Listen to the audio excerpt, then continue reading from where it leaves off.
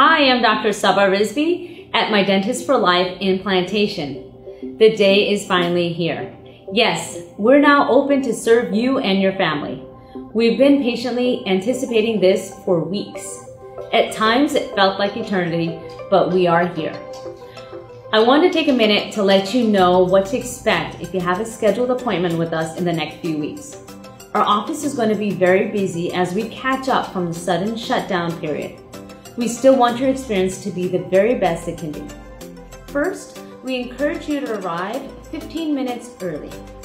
That way, you can complete any necessary paperwork that wasn't completed electronically, and we can ensure that you're in the dental chair on time.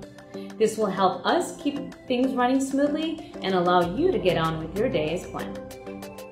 We are following recommendations as our community returns to normal step by step so please come to the practice on your own if you can. If you require a driver after your appointment, please ask them to wait in the car or call on them when your appointment is complete. We are trying to limit the number of people in the office.